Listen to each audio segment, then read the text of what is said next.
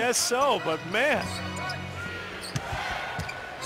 Jonas backs down. How about that? Takes Dalembert to the rim on a back down and then just flips it up and through. He used them and abused them.